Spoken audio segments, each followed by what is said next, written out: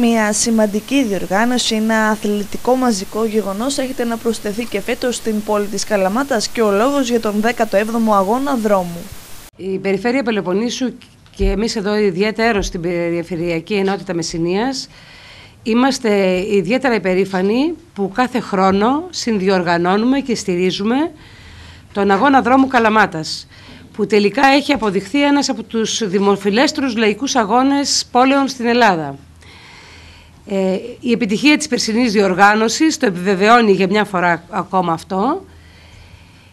Διεξάγεται το Σάββατο ο 17ος γύρος της Καλαμάτας που οργανώνεται για μία ακόμη φορά με επιτυχία από το Σύλλογο Δρομέων Υγείας Μεσσηνίας και υποστηρίζεται και από το Δήμο Καλαμάτας. Η επιτυχία του αγώνα αυτού αυξάνει διαρκώς τα τελευταία χρόνια και οφείλεται στη διάθεση του κόσμου να αθληθεί και ως εκ τούτου να διαγωνιστεί. Καλούμε όλους να έρθουν, να τρέξουν και να περπατήσουν στην πόλη μας, στον αγώνα της πόλης μας, σε μια γρήγορη διαδρομή, σε μια πανέμορφη διαδρομή δίπλα στη θάλασσα.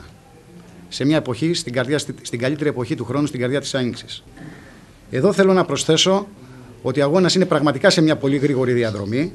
Είναι με προδιαγραφές της Ομοσπονδίας για να μπορέσουν οι αθλητές να κάνουν ακόμα αυτοί που θέλουν γρήγορο χρόνο και πάνω σε αυτό έχουμε την τιμή να έχουμε και τέσσερους ε, διακεκριμένους αθλητές από την Ελλάδα που θα έρθουν για να διεκδικήσουν χρόνο.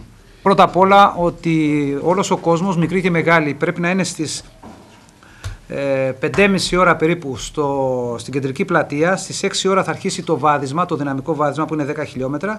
Στις 6,5 θα έχουμε το τρέξιμο των 10 χιλιόμετρων για τους μεγάλους. Λέσω τον κάθε συμπολίτη μας να βγει στους δρόμους, να χειροκροτήσει και να ε, ενθουσιαστεί με τους αθλητές γιατί αυτό θα προσθέσει κεφάλαιο στην πόλη μας.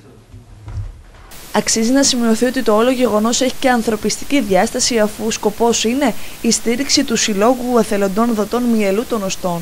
Αυτό το, ε, αυτή η δράση, αυτό το γεγονός έχει μια ιδιαίτερη ε, σημασία και κοινωνική και ανθρωπιστική διάσταση γιατί γίνεται για την υποστήριξη των, ε, του Συλλόγου Εθελοντών Δοτών Μιελού.